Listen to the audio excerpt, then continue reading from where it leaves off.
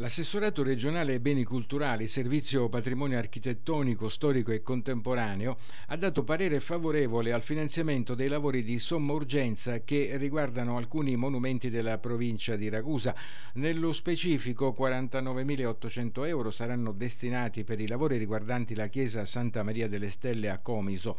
95.800 euro arriveranno per il restauro della cupola della Cappella di San Giorgio a Modica, 80.000 euro per il fabbricato rurale e muri di contenimento nell'area demaniale di Castelluccio in territorio del comune di Scicli e infine 98.600 euro per il castello dei tre cantoni e zone limitrofe al comune di Scicli. Finanziamenti da tempo richiesti da parte della sovrintendenza di Ragusa e che adesso hanno trovato il benestare della regione così come confermano in una nota i deputati Blea Orazio Ragusa e Nino Minardo. I parlamentari avevano incontrato l'assessore regionale beni culturali Sebastiano Tusa sollecitando lo sblocco delle pratiche riguardanti le richieste provenienti dalla soprintendenza di Ragusa proprio per l'erogazione dei finanziamenti riguardanti le opere in questione, meta di numerosi turisti che arrivano in provincia.